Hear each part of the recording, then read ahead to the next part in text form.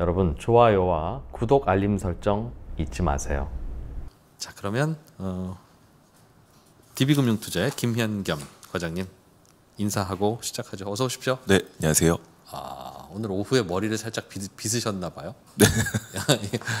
네, 여기 오기 전에. 항상 네, 예. 점검을 하고 그러시더라고요. 저희 출연하시는 분들도 어, 항상 바쁘시 바쁘게 오셔서 어, 일하고 나서 바로 오시는구나 싶었는데 가끔씩은 또 이렇게 맞습니다. 저희만 잘 못하는 것 같죠. 아닙니다. 오늘 시장은 저도 가끔씩 들여다봤는데 내릴 때 많이 내리고 또 보합까지 올라와서 상승 반전도 하다가 그 폭이 굉장히 컸던 것 같습니다. 맞습니다. 네, 일단 오늘 시장 정리를 먼저 해드리면 예. 일단 오늘은 미국 시장 일단 반등이 나왔죠. 네, 3대 시장, 3대 지수 다 반등이 나왔고요. 그러면서 이제 우리 시장도 강하게 출발을 했습니다. 네. 코스피 같은 경우는 0.86%, 코스닥 같은 경우는 1.52% 아, 상승으로 시작을 했는데요. 아, 또 이제 오늘의 화두라고 하면 당연히 테슬라의 배터리 데이였잖아요. 예. 네, 이 배터리 데이가 이제 우리 시간으로 오전 6시부터 시작이 됐지만 실질적으로 굉장히 길게 하면서 음. 이야기가 이제 오전장에 계속해서 영향을 좀 줬습니다. 예. 테슬라가 이제 뭐 장중에는 플러스 4% 이상 상승하기도 했었습니다만 또 이 배터리 데이 마무리가 되니까 또 시간 외에서 마이너스 7% 가까이 또 하락을 하는 변동성을 굉장히 크게 주는 아, 그런 모습이었고요. 그러면서 이제 2차 전지 2차 전지 관련주들이 이 약세를 좀 보였던 그런 모습이고 오전장에 주가의 상승 추가로 상승을 못했던 또 하나의 이유기도 하고요. 그리고 이제 또 파월 이제 연준 의장이 이 의회에서 이제 의회 청문회에서 또 이제 언급을 했습니다만 그 언급이 이제 지난번에 FOMC와 크게 다르진 않았던 것 같아요. 맥락은 네. 뭐 일단 어, 통화 정책보다는 이제 재정 정책 쪽에 힘을 줘야 된다라는 취지의 이제 언급을 했고 그 이야기는 아, 지금 미국에서 이제 민주당과 공화당이 대선이 얼마 남지 않은 관계로 예. 굉장히 치열하게 이 부양안 관련된 이, 아, 이제 합의를 보지 못하고 있는 상황에다 또 연방 대법원 어, 한 분이 돌아가시면서 네. 또그 부분에 대한 이슈도 같이 이제 엮여 있는 거죠. 네. 어, 그러면서 이런 미국의 정치적인 불확실성 계속적으로 어, 이, 이, 이 우리 시장에 영향을 주는 상황이고요. 또 이제 유럽에서는 코로나 2차 웨이브가 지금 진행이 되고 있고 어 이제 영국에서 보리슨 총리가 예전에 한번 본인도 이제 감염이 됐었죠? 네, 감염이 예. 됐었고 처음에는 굉장히 아무렇지도 않게 생각하다가 크게 한번 어떻게 보면은 좀 속된 말로 좀 데이다 보니까 음. 이번에는 사실 프랑스와 이 스페인보다 확진자 수가 많지는 않거든요. 지금 현재 스페인하고 음. 어, 프랑스 같은 경우는 일일 만 명 이상 나오기 시작하는데 아, 영국은 한 3, 4천 명 수준인데도 불구하고 음. 어, 다시 한번 이제 좀 강력한 제좀 경제 봉 봉쇄에 준하는 어, 그런 조치를 취한다라는 이야기가 나오면서 이런 부분들도 영향을 좀 주는 것 같고요. 네. 또 하나는 이제 트럼프 대통령이 우리 문재인 대통령도 어제 밤에 예, 유엔 연설을 이제 예, 가서 하시지도 않고 어, 이제 녹화가 이제 순서대로 이제 나왔는데 음, 거기도 온라인으로 하나요? 맞습니다. 온라인으로 네 그렇게 했- 네. 예, 했- 진행을 했는데요.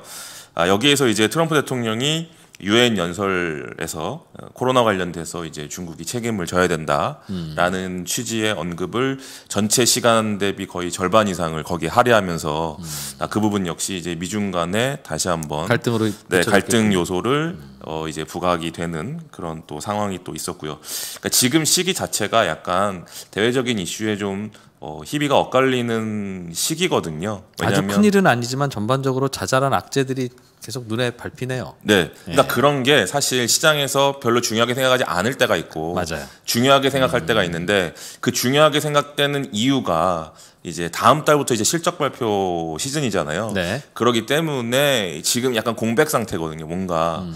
아 이제 약간 실적을 이제 무시하면서 성장성만 강한 모멘텀만 강한 종목들이 상승하기도 예. 음. 쉽지 않은 상황이고 또 실적 앞두고 실적이 아직 뭐 실적을 모르는데 또 섣불리 대응하기도 좀 애매하고 네. 그런 상황에서 이제 대외적인 영향을 좀 많이 받는 아, 그런 상황에다가 이제 수급적으로도 이제 3분기 말에 예. 에, 이제 각 그런 뭐 기관들, 연기금들 이런 자금 집행 관련된 이슈도 같이 여- 이제 연결되면서 예. 아, 좀 그런 것들이 좀 시장에 영향을 줬, 준다라고 볼 수 있을 것 같고요. 하지만 오후 들어서 이제 미국 선물이 예. 상승 전환을 하면서 다시 플러스 포 플러스로 이제 전환이 되는 아, 그런 상황 속에서 코스피 코스닥은 강보합선에서 마감을 하는 그런 모습이었습니다. 네. 오늘 코스피는 0.03% 상승한 2,333.24포인트, 코스닥은 0.09% 상승한 843.45포인트예요. 사실 최근에 급락한 거에 비하면 굉장히 아쉬운 반등이죠. 그러니까 어떻게 보면 반등도 아닌 거죠. 네. 근데 오늘 이제 장중 변동성은 상당히 심했고 어, 거래 대금 같은 경우는 이제 전일 대비해서 코스피는 많이 줄었어요.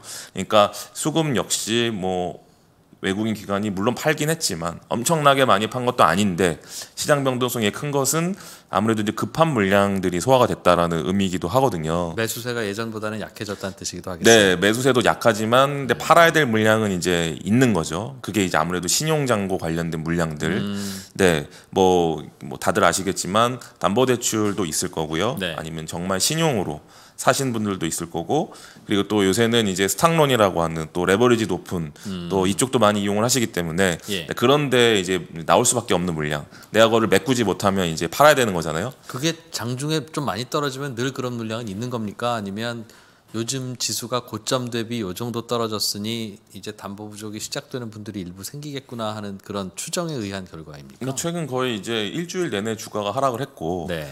그 일주일 전 기준으로 신용잔고가 18조가 넘었거든요. 아, 그러면 이제 담보 네. 비율이 부족해질 때가 이때쯤 되면 올 수도 있다 이거군요. 그러니까 이제 전체 거래 대금도 물론 많이 늘었지만 그 대비 이제 신용잔고 물량이 거의 목에 찼던 거죠. 그렇기 예. 때문에 이제 큰 증권사들은 이제 신용대출을 더 이상 안 해줬었거든요. 네. 네, 그 정도로 이제 많이 목에 찼었는데 주가가 조정이 나오면서 지수가 약 5에서 10% 조정을 받으면 네. 개별 종목은 거의 이제 20% 30% 조정을 받거든요. 네. 그렇다고 하면 아무래도 레버리지를 이용한 아, 이용해서 투자하신 분들은 굉장히 살 떨리는 영향권이 네, 있을 수살 떨리는 있군요. 조금 더. 내려가면 반대방에. 있어야 되는. 네. 네. 그런 부분들이 오늘 좀 시장에서 좀 많이 작용한 것 같습니다. 음.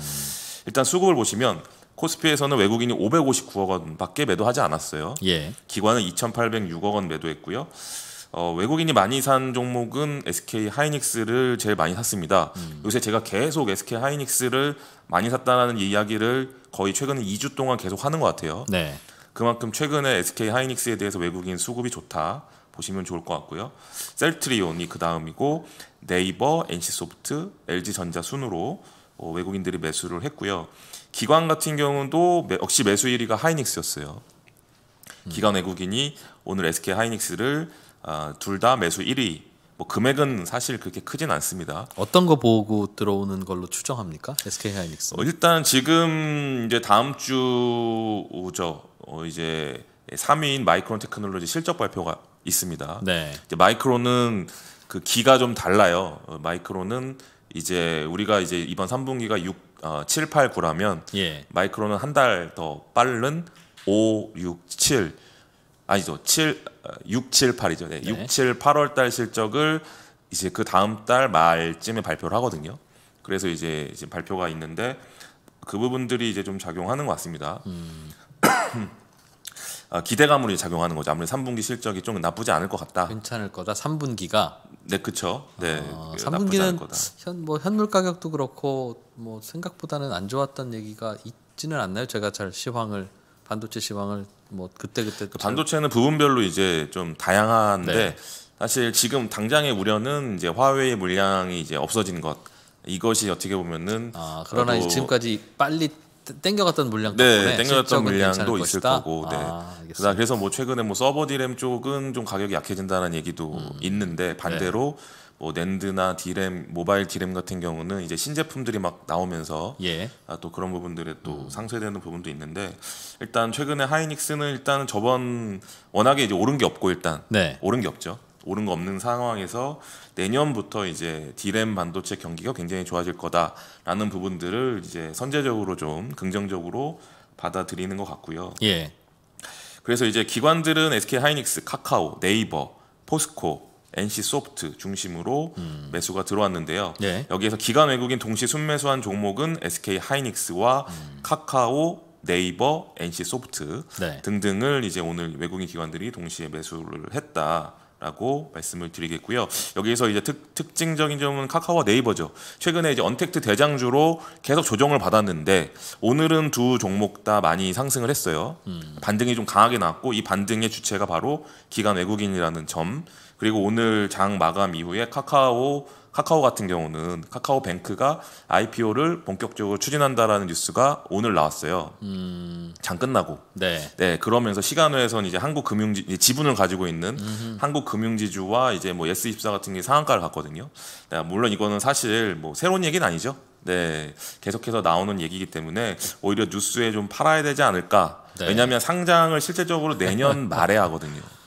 내년 말. 네, 그러니까 실제 공모지- 상장은 내년 말에 하고 이제 IPO 인제 인제 준비를 한다는 얘기예요. 준비하는 건 이제 주관사도 선정하고 음. 네. 이제 실사도 하고 이런데 시간이 걸리잖아요. 아 그러기 때문에 이제 보통 시작을 하면 한 1년 걸리거든요. 음, 그런 네. 그런 정도의 일정이에요. 그렇죠. 그래서 이제 내년 말에 실질적으로 상장을 하기 때문에 예. 에, 모멘텀이 이제 어떻게 보면 1년 동안은 좀 없는 거잖아요. 음. 네, 그런 관점도 생각을 하셔야 될 것 같고요. 네. 그리고 이제 코스닥 같은 경우는 외국인이 오히려 매수가 들어왔습니다. 292억 원. 기관은 1,012억 원 매도를 했고요. 외국인 매수 종목은 셀트리온 헬스케어와 제넥신, 알서포트, 에코프로, 주- 어, 중심으로 매수가 들어왔고 반대로 매도는 에코프로 BM이 1등이에요. 굉장히 좀 신기하죠. 왜냐하면 어, 에코프로 BM의 최대 주주인 에코프로를 이제 외국인이 매수를 했는데 반대로 자회사는 매도를 하고 네, 뭐 크진 않습니다. 뭐 그런 상황이고요. 씨젠, 오스코텍, KMW, L&F를 매도했고요. 코스닥 기관은 동진쎄미켐, 씨젠, SF, SFA, 메지온 순서대로 매수가 들어왔고요. 예. 매도는 이제 셀트리온 헬스케어, L&F, 어, 유니슨, 서메이지 뭐 등등등을 매도를 했습니다. 전체 거래 대금 오늘 코스피는 13.3조 원이고 어제 전일 대비 마이너스 4.1조 원이에요. 그러니까 거래 대금이 코- 거래소는 좀 많이 줄었죠. 네, 변동은 심했지만 네. 사람들이 이제 좀 관망을 하시는 분들이 더 많은 것 같고요. 코스닥은 12.8조 원 어, 거래가 되면서 0.7조 원 늘었습니다.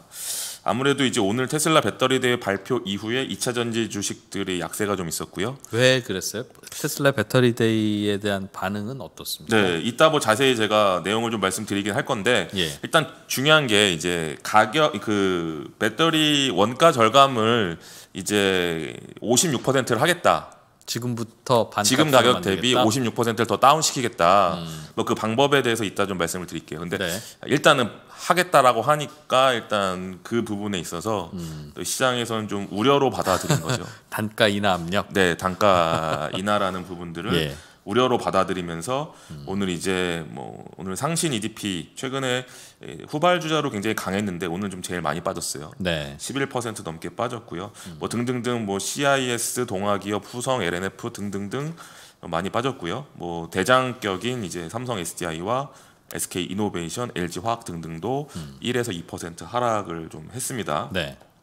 근데 이번 배터리 대회에서 의외로 주목을 받은 부분이 오히려 자율주행이에요. 뭐 그 얘기가 나왔지만 테슬라가 한 달 뒤에 시제품이지만 풀 자율주행차를 선보이겠다. 네. 이런 이야기를 했어요. full 자율주행이면 지금 나와 있는 제품하고는 뭐가 다른 겁니까? 그러니까 이제 자율주행의 단계가 있잖아요. 1단계, 예. 2단계부터 5단계까지 있는데 이 의미는 이제 그 max 5단계를 얘기를 하는 거니까 완전 자율주행을 얘기를 하는 거죠. 정말 신경 안 써도 알아서 어디 위치에 가는 그런 것을 이제 보여주겠다라는 이야기를 했어요. 예. 그러면서 이제 우리나라에서 이제 자율주행 관련된 종목이라고 할 수 있는 종목들이 오늘 일제히 좀 큰 폭으로 상승을 했거든요. 네. 아무래도 이제 이 예전에 어, 전기차라는 것에 관심을 2차 전지라는 부분에 있어서 뭐 요새 처음 관심 갖는 게 아니라 벌써 몇 년 전부터 이제 주가가 출렁출렁 했었잖아요. 네. 근데 초창기에는 이제 자율주행 모멘텀도 굉장히 강하게 같이 연동돼서 움직였거든요. 근데 최근에는 2차 전지랑 이제 자율주행은 좀 별개로 자율주행은 거의 안 움직였죠. 네. 그 부분은 아무래도 이 자율주행이라는 것은 먼 미래로 먼 미래로 예, 받아들이면서 이 5G의 인프라도 다 깔려야 되고 예. 기본적으로 뭐 그런 바탕들도 있어야 되고 또 여러 가지 제도와 이런 것들이 좀 받쳐줘야 되는 부분들도 있고 음. 그런 것들이 시간이 좀 필요하다라고 생각을 이제 투자자들이 하는지 네. 크게 움직이지 않았는데 이제 이 테슬라의 영향으로 오늘 관련된 종목들이 상한가 간 종목들도 있고요. 20% 넘게 올라간 종목들이 되게 많고 시간 외에서도 또 추가로 올라가는 종목들도 많이 나오는 그런 모양이에요. 그래서 뭐 당연히 우리나라의 이 자율주행이라고 하는 종목들이 사실 어, 그, 이 종목들이 과연 나중까지 살아남아서 자율주행에 채택이 될까라는 데는 의문이 사실 많거든요. 음. 지금 뭐 오늘 상한가에 간 뭐 모트렉스나 많이 올랐던 뭐 팅크웨어, 뭐 모바일 어플런스, 어플라이언스 이런 종목들 사실 기반이 그 내비게이션을 만드는 회사 들이에요?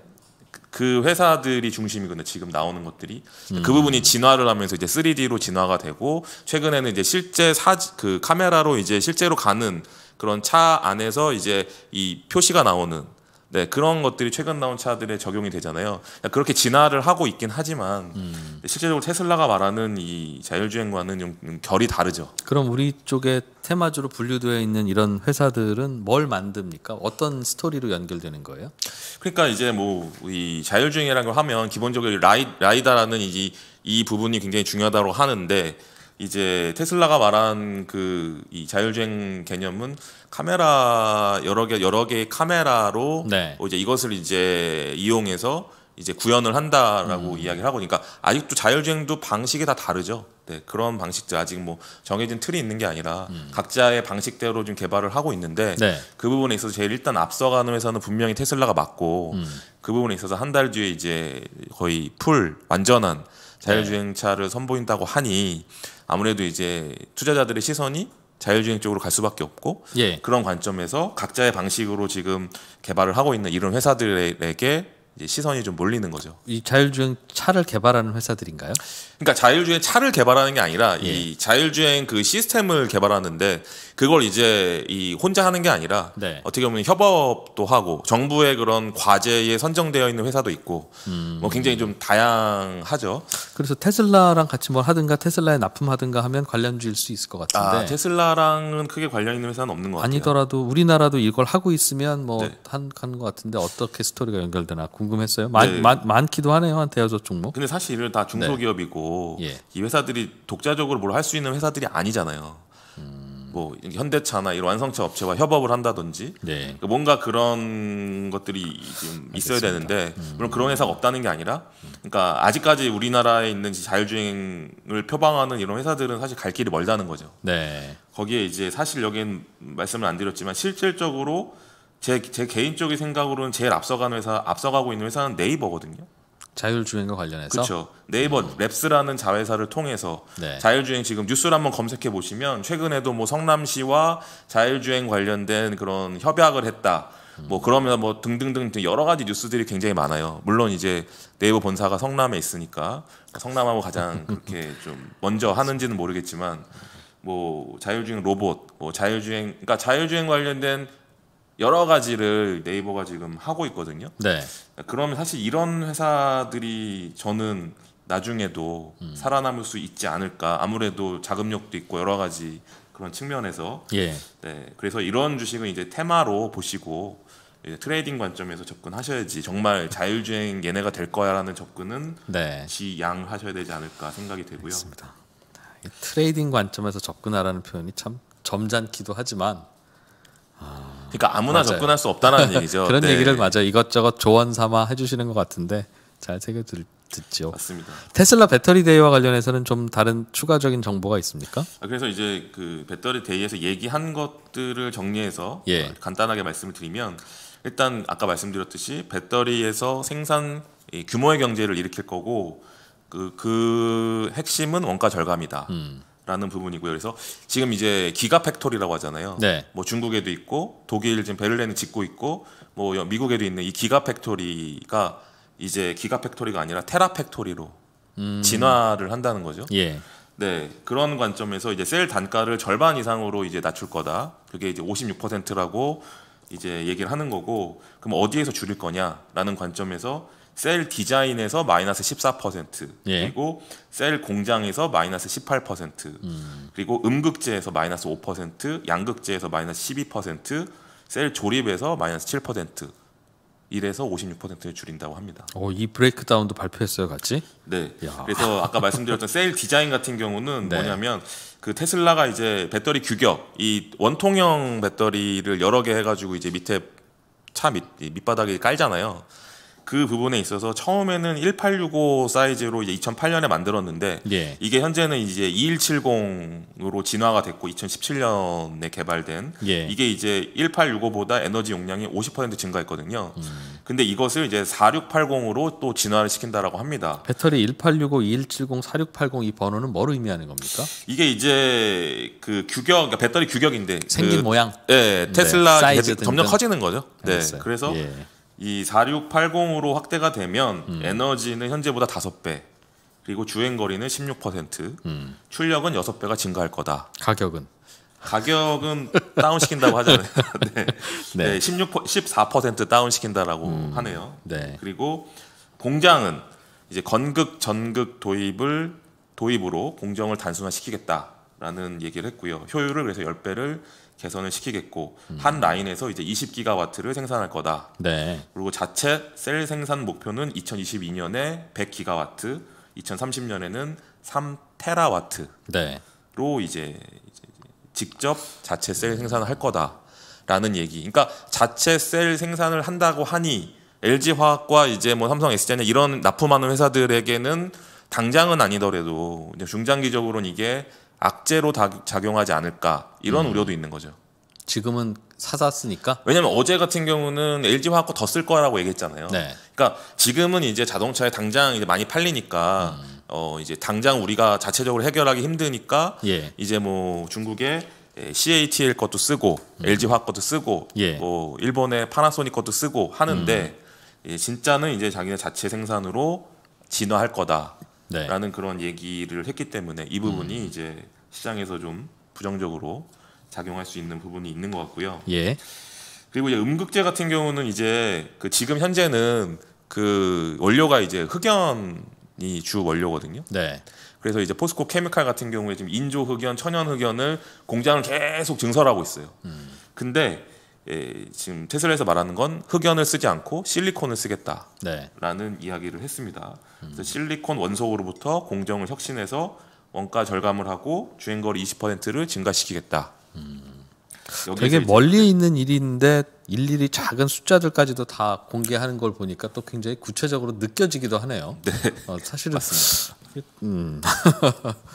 알겠습니다. 네, 그리고 양극재 같은 경우는 이제 어떻게 보면 우리나라 종목들이 제일 많은 쪽이죠. 양극재가 제일 2차 전지 비중이 크기 때문에 네. 우리가 이 일명 말하는 그런 뭐 에코프로비엠이나 LNF나 이런 회사들이 하고 있는 게 이제 양극재고 코발트 없이 니켈만으로 안정성을 확보하겠다. 근데 코발트를 안 쓰는 이유는 이제 코발트가 일단 가격이 비싸요. 네. 네, 가격이 비싸고 그리고 이제 환경 이슈가 있습니다. 네, 환경 쪽에 이슈가 있고 또 아프리카 이제 에, 아프리카에서 주로 이제 생산을 하는데 그 부분에 있어서 이제 좀 그런 리스크도 좀 있어서 코발트를 되도록이면 안 쓰려고 하는데 그걸 테슬라가 이제 아예 안 쓰겠다. 그래서 니켈만으로도 안정성을 확보하겠다. 또 이런 근데 어떻게 보면 거꾸로 이제 니켈의 중요성이 더 부각이 될 수 있는 거죠. 네. 그리고 이제 지금 이제 이 양극재 같은 경우는 그 방식이 굉장히 다양해요 현재 뭐 NCM이 NCM 뭐 니켈 코발트 망간 NCM을 네. 사용하기도 하고 NCA 이제 망간 대신 알루미늄을 쓰기도 하고 또 이제 이 방식에서 LNF 같은 경우는 NCMA 그러니까 망간도 쓴- 쓰고 알루미늄도 첨가하는 그런 방식으로 하고 중국의 이제 CATL 같은 경우는 이제 LFP라 그래서 리튬 철 인산 방식 그러니까 완전 다르죠 이거는. 네. 네, 리튬 철 인산 방식으로 지금 하고 있거든요. 근데 예, 테슬라가 이제 CATL 비중을 좀 키우려고 해서 이, 이 리튬 이철 인산 방식도 이제 지금 굉장히 좀 커지고 있는 어, 그런 부분이 있거든요. 그래서 이런 것들은 굉장히 다양한 방식의 지금 방법이 이용되면서 지금 배터리가 만들어지고 있고 그 부분에 대한 아직도 이제 뭐 뭐가 제일 낫다라고 할 수 없다라는 거죠. 계속해서 진화가 되고 있는 부분이고 예. 여기서 언급은 안 됐지만 실질적으로 2025년 기준으로 지금 하려고 하는 게 전고체 배터리잖아요. 전해질을 액체가 아닌 고체로 바꿔서 예, 하는 방식. 이 방식의 안정성도 뛰어나고 부피도 훨씬 줄일 수 있어서 네. 이 부분에 이 부분이 핵심인데 이 부분은 언급이 없었습니다. 크게. 그래서 삼성도 그렇고 도요타도 그렇고 이쪽 전고체 배터리에 굉장히 심혈을 기울이고 있거든요. 예. 그 부분은 좀 제 얘기가 안 나왔다라는 부분들 말씀드리겠습니다. 음. 알겠습니다. 전반적으로는 어떻게 해석해야 되는 겁니까? 이 테슬라 배터리 데이에서 공개되어 있는 한 정보들 네. 뭐 아주 단순하게 치부하려면 그냥 특정 회사의 계획이니 그럴 그럴 뭐 그냥 참고하고 실제 실제로 잘 이루어지면 그때 생각해 보든 그 하자고 할 수도 있겠으나 그럴 거면 배터리 데이 왜 기다렸어? 이제 하는 게 있으니까 네.